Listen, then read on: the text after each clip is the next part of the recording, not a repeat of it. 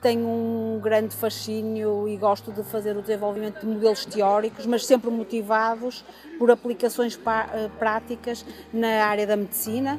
ou na área das ciências biomédicas. Eh, a licenciatura em Estatística Aplicada tem uma componente teórica eh, de formação matemática, em que os alunos têm as disciplinas base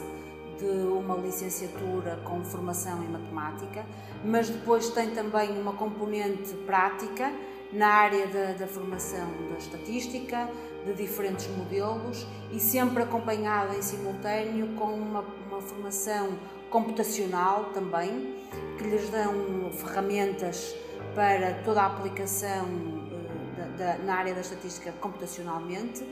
e também tem alguma uh, formação em áreas como a economia, marketing, gestão de bases de dados.